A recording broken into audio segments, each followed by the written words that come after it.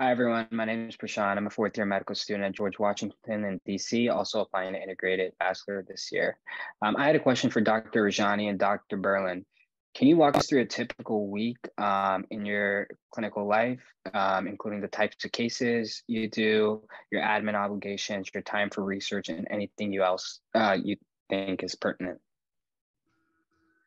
Sure, uh, happy to talk about that. Um, the the beauty of this is, you know, as, as a med student, as a resident, you know, you're kind of told where to be and when, and there's a lot asked of you. As you kind of become an attending and start working, you're kind of an adult and you kind of run your own schedule. So I'll tell you what I do on a week by week basis, but it's the this it's the schedule that I created for myself. And if I want to make my kids uh, 12 o'clock, you know, play, uh, that he's in, I'll I'll I'll shut my office hours down or shut you know some I'll block out some time and do it. And that you can't do that as a med student and resident, but you do have that in life. And I think one of the thoughts is it's so demanding. You don't have that family life. That's an old school mentality. It, it is what you make of it. And in this day and age you can get you can have it all. I do i do think that is true. You, you can be the surgeon and also be at home and be available. My day to day mondays i do all endovascular procedures. We have an office based practice where we do procedures, multiple um, endovascular procedures, and I do those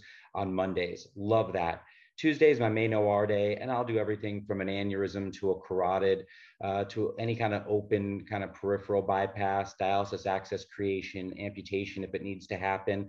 Um, some complex deep venous disease, some of the deep venous uh, problems that are going to need multiple stents. We don't do those in an office setting. We'll do those in the main OR. Wednesdays, patients all day long. I'll see 30 patients. Dr. Rajani was talking about that longitudinal care. I love that part of it. That's why, you know, I think vascular is so appealing. I'll see 30 patients. Um, and I just think of medicine docs who just, that's their everyday. That's my Wednesday. And if you're in medicine, that's your everyday uh, kind of lifestyle. I'll see 30 and, and probably book four or five procedures out of those 30 patients. So it's not like I'm seeing 30 patients and booking 29 procedures. Um, so there's a lot of patients that are coming in for follow-up, some new patient visits that just are going to require follow-up. Um, so I love those days. Thursdays, I kind of have a mix between um, vein procedures and endovascular procedures. And on Fridays, I'll kind of toggle back and forth between a full day of office hours again, or um, my office-based practice doing endovascular procedures. Yeah, I'll, I, i will briefly just piggyback.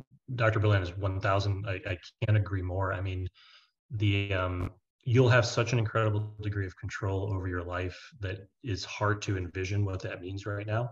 Listen, there's sacrifices, right? If you say, I want to be a cardiac surgeon, but I only want to work one day a month, you're probably getting a pay cut if that's your plan, right? Or there's going to be something that you have to sacrifice. But you'd be surprised how, like, the whole lifestyle piece that I'm sure we'll talk about more is a really interesting concept, your life is going to be hard during residency, whatever you go into. They're, they're pretty homogenous and they're all pretty tough. Once you become an attending and you, you find what appeals to you, you will forge your situation around what your life needs out of it, quite honestly, whether that be what your, your family needs out of you, your parents need out of you, or whatever you personally need out of it. And that's, that's really important to, to to rush through it. Um, I've picked up a lot of administrative responsibilities in the last year. So Monday is um, a big education day for me, helping to forge what the education platform at Emory University looks like and how we're changing it. Tuesday is my clinic day, and it's been my clinic day my entire career. And Wednesday is my big OR day. I'll usually have two rooms and a fellow and be able to, to bounce back and forth.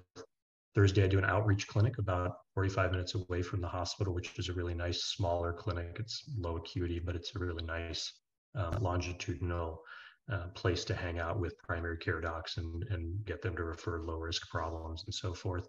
And then Fridays, I'll either be uh, operating a little bit or covering for one of my partners, or a lot of time that's some research time as well. Um, call is interspersed throughout there, as you can imagine, and call is very different depending on what type of hospital you're at. But it, you absolutely will and can tailor what your week looks like to what works for you.